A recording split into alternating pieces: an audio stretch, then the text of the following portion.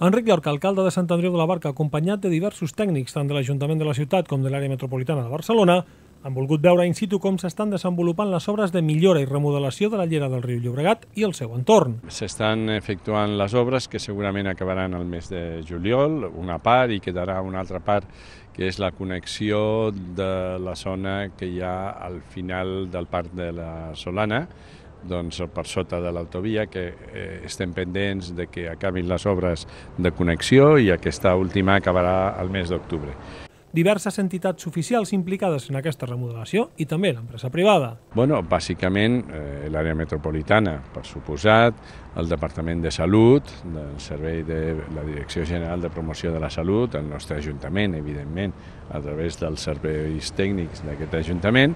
han est hem estat doncs, les eh, institucions, després i, eh, també és veritat que hi ha alguna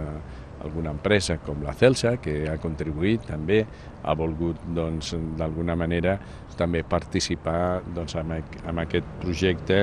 de millora del medi ambient del nostre municipi. La remodelació continuarà. Comportarà una sèrie de beneficis en la salut dels nostres ciutadans i després serà, com dic, la, el preludi d'una altra molta més intensiva, en la que també es farà un estudi per veure com millorar doncs, l'impacte sobre la salut dels nostres ciutadans. La visita s'ha fet des de l'entrada per la zona de pícnic fins la sortida a l'escola Josep Pla.